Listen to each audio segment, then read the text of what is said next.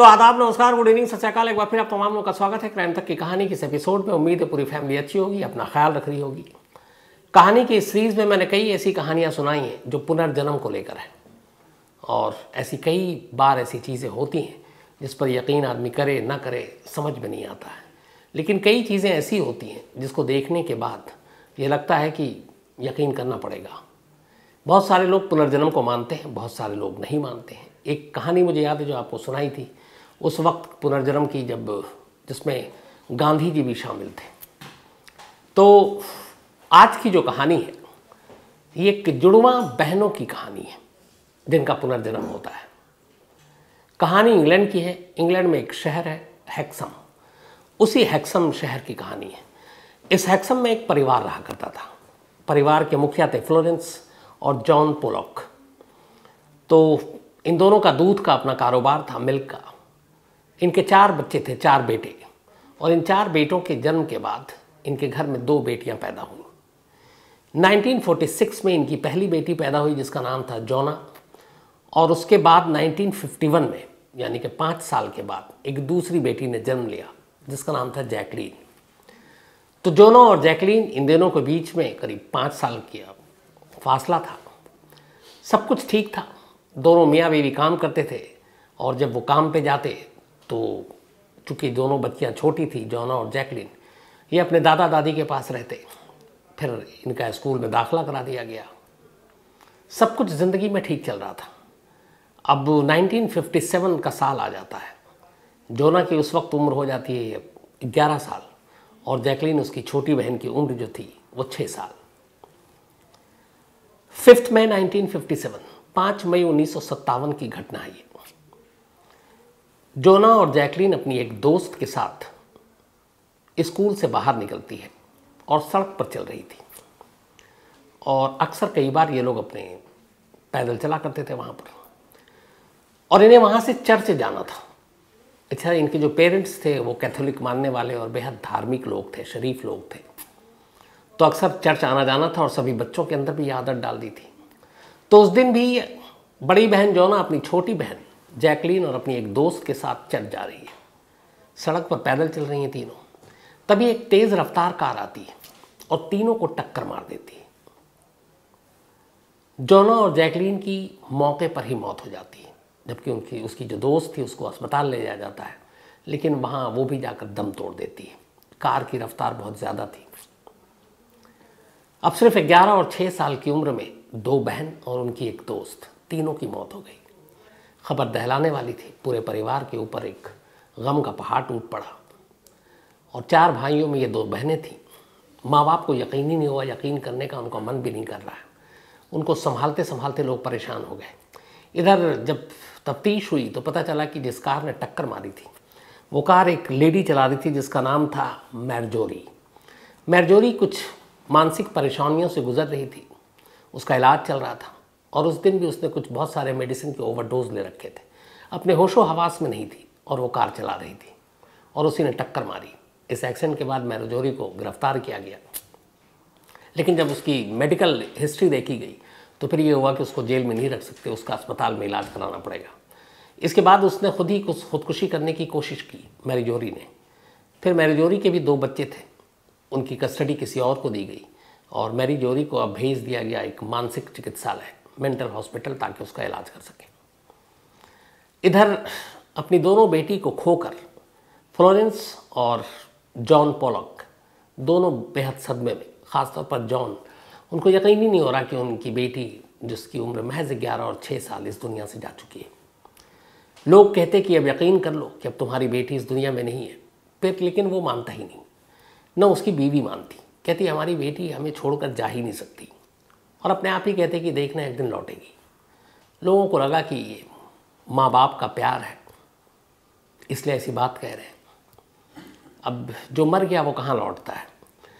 लेकिन जब भी कोई भी रिश्तेदार, दोस्त आता, कोई हमदर्दी जताता, इन दोनों बच्चों की मौत पर तो दोनों यही कहते कि वो दोनों आएँगी।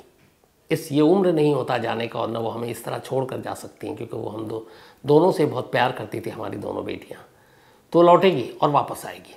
यही उनकी एक धुन, यही एक ज़िद और इसी ख्याल, इसी ख्वाब, इसी ज़िद के सहारे वो जीते रहे वक्त बीतता रहा।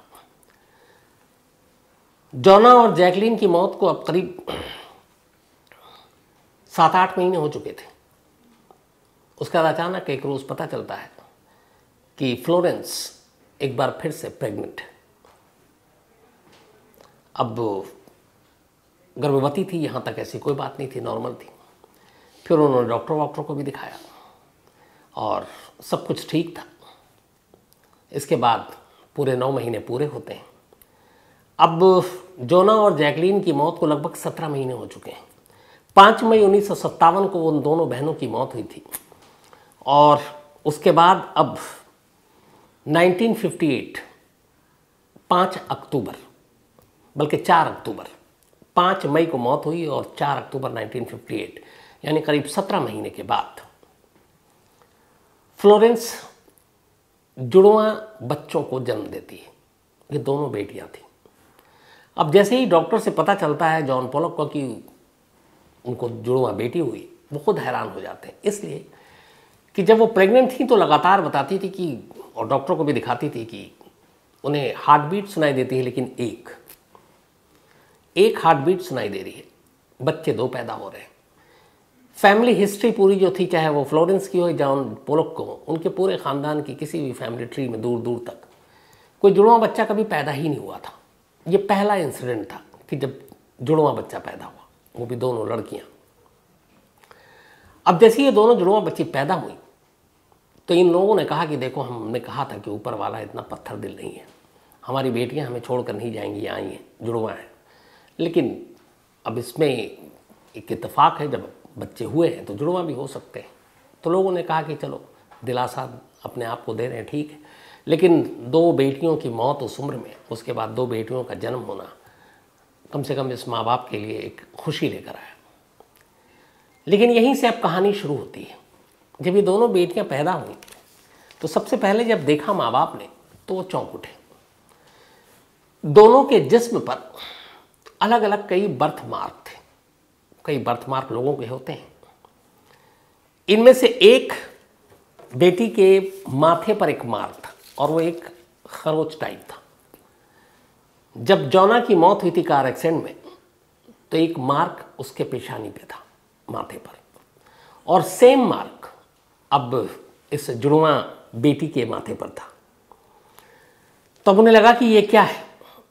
ये कैसे हो सकता है? दूसरी बेटी के जिस्म पर भी कई जगह पे ऐसे मार्क थे, जो कार एक्सीडेंट के बाद उन्होंने अपनी आँखों से देखा था, और वही मार्क उन दोनों के जिस्म पर। अब ये पहली चीज़ जो उन्होंने नोटिस किया। फिर उन्होंने नोटिस किया कि अब वो बड़ी हो रही है, कि दोनों ट्विन तो पैदा हुई हैं, जुड़वा हैं, लेकिन दोनों की शक्ल आपस में नहीं मिलती। आमतौर पर जुड़वा की शक्ल कुछ कुछ मिलती है। यहाँ उल्टा हो रहा है। इन दोनों की शक्ल अपनी उन दो बहनों से मिल रही हैं जिनका सत्रह महीने पहले कार एक्सीडेंट में दोनों की जिनकी मौत हो गई थी। अब यहाँ एक बहन की शक्ल जॉना से मिल रही है और दूसरी बहन की शक्ल जैकलीन से मिल रही है। अब ये न चाहते हुए भी इन्हें लगा कि ये ऊपर वाले ने शायद हर जाने के तौर पर दिया है कि हमने तुम्हारे से, तुमसे तुम्हारी बेटियाँ छीन ली हैं। तो अब ये हम तुम्हें लौटा रहे हैं।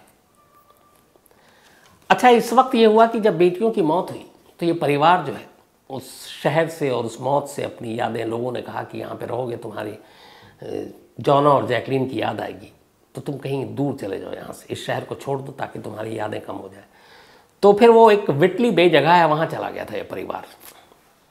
और विटली बे में ही ये दोनों जुड़वा बहन पैदा हुई। अब ये दोनों धीरे धीरे बड़ी हो रही हैं बर्थ मार्क दोनों की शक्ल, दोनों मुर्दा बहनों से मिल रही हैं, दोनों की शक्ल आपस में मिल नहीं रही हैं। अब इन्होंने इन दोनों बहनों का जो नाम रखा था एक का नाम रखा जीलियन और एक का नाम रखा जेनिफर। तो जो पहली वाली थी जॉना और जैकलीन अब इन्होंने जुड़वा बेटियों का जो नाम रखा था जिलियन और जेनिफर। करीब चार साल की अब दोनों हो जाती हैं। 1958 में पैदा हुई थी 1962 में। अब ये परिवार पुराने गम को अपनी दोनों बेटियों को क्योंकि अपनी दो नई बेटियों में पुरानी बेट, बेटियाँ दिख रही हैं ये वापस हैक्सम शहर लौट आते अब तक सिर्फ़ ये चीज़ें हैं कि बर्थ मार्क है, जो उनकी बहनों के जहाँ जहाँ चोट लगी, वहाँ वहाँ इनके शरीर पर। और शक्ल भी मिलती है उन दोनों से, और ये ट्विन है, अपनी इनकी आपस में शक्ल नहीं मिल रही। तो इनको यकीन होने लगा कि ये पुनर्जन्म है। एक रोज़, जब ये थोड़ी सी बड़ी हुई, तीन चार साल की तो ये फैमिली उन दोनों को लेकर बाहर निकलती घर से। जैसे ही सड़क पर निकलती है और एक कार गुजर रही होती है एक साथ दोनों जुड़वा बहनें चीखने और रोने लगती हैं। उन्हें पहले कुछ समझ में नहीं आता। फिर उसके बाद वो शांत हो जाती है। फिर वो ध्यान देते हैं कि वो जब भी अपनी इन बेटियों को लेकर सड़क पर निकलते हैं और अगर कोई कार गुजर रही होती है तो दोनों अचानक चीखने पड़, चीख पड़ती हैं और फिर रोने लगती हैं। तब उन्हें एहसास हुआ कि शायद अगर ये पुनर्जन्म है तो उस कार हादसे का असर इनके जहन पर आज भी है। तो ये बात उन्हें बड़ी अजीब लगी। फिर भी उन्होंने कहा कि नहीं, कहाँ ये सब पुनर्जन्म हर कोई तो मानता नहीं है। बट वो अभी चीज़ें जोड़ रहे हैं। पुख्ता तौर पर कुछ नहीं है। चार साल के बाद अब ये दोनों बेटियों को लेकर हेक्सम लौट आते हैं। और यही जो पहली चीज़ होती है, इस पूरे परिवार को लगता है कि ये करिश्मा है। जब हेक्सम में वो घर में दाखिल होते हैं, दोनों बेटियाँ नीचे होती हैं पैदल, खुद से चल रही हैं, चार साल की उम्र हो चुकी है। घर में दाखिल होते ही दोनों दौड़ते हुए उस कमरे में जाती हैं। जिस कमरे में वो रहा करती थी। और भी कमरे थे, उनके माँ बाप के, भाई के। लेकिन वो किसी कमरे में नहीं, अपने उसी कमरे की उसी बिस्तर पर जाकर बैठ जाती और दोनों बेहद खुश। और इसके बाद, अब ऐसा लगता है कि जैसे वो पहले से यहाँ से पहली बार आ रही है, पैदा होने के बाद। और इनके माँ बाप ने उन्हें कभी ये नहीं बताया कि तुम्हारी दो बहनें भी थी जिनका एक रोड एक्सीडेंट में मौत हो गई थी। उन्होंने कभी ज़िक्र ही नहीं किया। बच्चे थे, क्या ज़िक्र करना। दूसरा जो शौक लगा, जो हैरत पूरे परिवार को, कमरे से निकलकर बच्चियाँ उस जगह पे जाती हैं जहाँ इनके खिलौने रखे हुए थे। और दोनों बहनें वही वही खिलौने उठाती हैं जो उन्हें सबसे ज़्यादा पसंद था। इससे पहले जॉना और जैकलीन ने उन खिलौने के अलग अलग नाम दे रखे थे, जैसे डॉल के अलग नाम, बाकी के अलग नाम। और ये दोनों जब जुड़वा बहनें अब खिलौना उठा रही हैं तो उसी नाम से उस खिलौने को बुला रही हैं। जिस नाम से उनकी पुरानी बहनें जो इस दुनिया में नहीं वो बुलाया करती थी। माँ बाप और भाई ये सुनकर दंग रह गए। क्योंकि चार साल के बाद पहली बार इस शहर में, इस घर में वो दाखिल हुई। और पहली बार उसने कमरे को देखा। खिलौने कहाँ हैं, उन्हें ये पता। खिलौने के नाम क्या हैं, जो उनकी उन बहनों ने रखा। वो अपने आप बता रही है उन्होंने किसी ने नहीं बताया। यहाँ से उन्हें यकीन हो गया कि जो उनका यकीन था जौना और जैकलीन की मौत के बाद कि वो दोनों लौटेंगी, ये दोनों जुड़वा बहनों की शक्ल में लौटी इतना ही नहीं, अब जब उन्हें यकीन हो गया, तब उन्होंने फिर उसको आजमाना शुरू किया दोनों को कि वाकई इन दोनों को और भी कुछ पता है कि नहीं। अब उसको वो बाहर लेकर निकले। तो एक चीज़ तो उन्होंने किया, बाहर अब भी निकलते तो वो कार को देखते हुए दोनों डर जाती, सहम जाती। तो कोशिश करते कि ये उससे बचा कर ले जाए। उन दोनों को अपना स्कूल मालूम था कहाँ पर है। वो हाथ पकड़ के खुद ही पैदल चल जाती और कहती कि ये स्कूल है, यहाँ हमने पढ़ाई की है। उस शहर के जितने लैंडमार्क थे जहाँ उन दोनों बच्चियों को ले जाया गया था, तब जब उनकी मौत हुई ग्यारह और चार साल थी, वो सारे लैंडमार्क उनको मालूम थे। और सब पहली बार हो रहा है, वो पहली बार ही शहर में पैदा होकर आई हैं। लेकिन उन्हें हर चीज़, हर जगह के बारे में पूरी जानकारी थी। अब जब ये चीज़ें हुई और लोगों को पता चली तो फिर धीरे धीरे मीडिया में कई बातें। मीडिया में कुछ लोग आए, मिलने के लिए इंटरव्यू किया, अखबारों में खबर छपने लगा कि यहाँ पे एक पुनर्जन्म का केस है। और कई लोगों ने टेस्ट लिया और पेरेंट्स का, बच्चों का, और वो भी दंग रह गए। उन्होंने कहा कि वाकई इससे किसी ने कभी कुछ नहीं बताया। लेकिन इन दोनों को सब कुछ पता है अपने, उन दोनों बहनों के बारे में। फिर ये हुआ कि ये करिश्मा है, ये पुनर्जन्म का ही मामला है। हर एक चीज़ इन दोनों को याद थी। इधर धीरे धीरे अब वक्त बीतता रहा। दोनों के स्कूल में दाखला दिया गया। दोनों के बर्थमार्क वही थे। कार का खौफ उनके जहन से तब भी नहीं गया। अब करीब दोनों लगभग 20 साल की होने वाली थी। 1958 में पैदा हुई थी और 78 का साल आ गया था। 20 साल जब हो गए, तब तक इन्हें वो सारी चीज़ें याद रहती थी। और कई बार इस दौरान में ये दोनों बहनें रात को अचानक सोते हुए उठ जाती थी। और चीखने लगती थी, डर जाती थी। माँ बाप पूछते थे, क्या हुआ? तो उन्होंने कहा, सपने में हम तेज़ कार को देख रहे हैं जो बेहद तेज़ रफ्तार से आ रही है और हमें टक्कर मारने की कोशिश कर रही है। वो सारे हाथ से सारी चीज़ें इनके जहन में थे। बार बार वो कहती थी, और एक ही डर था, सिर्फ़ उन्हें कार से। और उनकी दोनों बहनों की मौत कार से हुई थी। तो ये सपना, ये डर, सड़क पर गाड़ियों को देखकर सिहर उठना, ये सारी चीज़ें बरसों चलती रही। बीस साल गुजर गए। बीस साल के बाद अचानक फिर एक करिश्मा होता है। बीस साल के बाद ये दोनों बहनें एक रोज़ अचानक इनकी सारी पुरानी यादें धुंधली पड़ जाती हैं। ये सब कुछ भूल जाती हैं। जो सपने आते थे, जो कार की बात थी, जो इनकी दोनों बहनों के बारे में बताते थे अब कोई पूछता तो कहते, मुझे तो याद नहीं। बीस साल के बाद इनकी जहन से वो सारी यादें, सारी तस्वीरें एक तरह से मिटा दी गई या मिट गई, अचानक, अपने आप। अब माँ बाप को लगा कि ये क्या हुआ? और सही माने वो पिछली ज़िंदगी या पिछले जन्म की बात करें, वो जौना और जैकलीन की बात करें, वो सब कुछ भूल गई और ये अपने आप हुआ। धीरे धीरे अब उन यादों से बाहर निकली। माँ बाप को भी लगा कि चलो, कब तक पुरानी यादों के सहारे रहेंगी। ज़िंदगी, फिर इनकी शादी होनी है, बहुत सारी चीज़ें होनी हैं। तो 20 साल के बाद वो सपने, वो एक्सीडेंट, वो सारी बातें निकल गई। बहुत सारे रिसर्चर आए बड़े बड़े विद्वान आए उन्होंने इन दोनों बहनों पर रिसर्च किया और ज़्यादातर ने यही माना कि ये दोनों बहन पुनर्जन्म इनका हुआ और जो इनकी बहनों की मौत हुई थी, वो जो सारी चीज़ें इन्हें याद थी, वो सीधा सीधा उसका कनेक्शन था। उस जगह पे जहाँ पे ये सारी चीज़ें हुई, लोग पुनर्जन्म को नहीं मानते। हमारे देश में तो खैर फिर भी बहुत सारे लोग मानते हैं। बट वहाँ पे ये सारी चीज़ें नहीं थी। और इसीलिए एक एक चीज़ को रेत कर जब उन बच्चियों से बात की गई जैसे जैसे बड़े हुए, कई लोगों ने तो सालों उन पर नज़र रखा। कि अब इसका बर्ताव बिहेवियर में क्या चेंज आया है क्या कुछ हो रहा है। लेकिन 20 साल के बाद वो सारी यादें अचानक मिट गई। इसके बाद इन दोनों बहनों की शादी हो गई। शादी होने के बाद दोनों अलग अलग हो गई। दोनों का चेहरा नहीं मिलता था ट्विन होने के बावजूद। अब करीब पैंसठ साल की उम्र हो चुकी है इन दोनों बहनों की। और ये दोनों आज भी इंग्लैंड में हैं। और इन दोनों का अपना परिवार है, पति है, बच्चे हैं। और खुशहाल ज़िंदगी गुजार रहे हैं। उधर उन दोनों के जो माँ बाप थे, वो माँ बाप इस उम्मीद पर रहे कि उनकी बेटी की जो मौत हुई थी, वो आएगी और उस, उनका ये उम्मीद पूरा हुआ। और वो हमेशा मानते, आखिरी वक्त तक ये दोनों मियाँ बीवी मानते रहे कि ये जो उनकी ज़िंदगी में दोनों जुड़ुआ बेटियाँ आई, ये ऊपर वाले ने उन्हें उनकी ज़िद के आगे हार कर भेजा। और इसीलिए एक ट्विन पैदा हुई और दोनों के अंदर वो सारे बर्थमार्क से लेके सारी यादें, सारी चीज़ें, घर का नक्शा, खिलौनों के नाम, सब कुछ पता थे। तो आज भी ये दोनों टीम जिसके बारे में ज़्यादातर लोग वहाँ के और उसके तमाम रिश्तेदार, जितने जर्नलिस्ट हैं, जिन्होंने इस पर रिसर्च किया, उनका यही यकीन है कि इन दोनों का पुनर्जन्म हुआ था और कोई इसके अलावा वजह है ही नहीं, जिसकी वजह से ये सारी चीज़ें जानती हैं। तो ये थी कहानी एक बेहद अजीब व गरीब पुनर्जन्म की। वो भी अपने देश की नहीं, बल्कि देश के बाहर की। तो कहानी में इतना ही, लेकिन अपना वही सिलसिला शुरू करो। आज किसी ने भेजा, मुझे ये भी बताया आज। शाहरुख खान का भी जन्मदिन है तो हैप्पी बर्थडे शाहरुख। और ये क्राइम तक फैमिली मेंबर बताइए, अपना छोड़कर ये भेजा है उन्होंने। नारायण कुमार, आज इनका भी जन्मदिन है तो हैप्पी बर्थडे नारायण। और ये संजय शर्मा के बेटे हैं। साथ ही शालू, इनका भी आज बर्थडे है तो हैप्पी बर्थडे शालू जी। और मनीष यादव जी की पत्नी है ये। इसके अलावा रमीज़ शेख, इनका भी आज बर्थडे है तो हैप्पी बर्थडे रमीज़ और इरफान शेख ने भेजा है।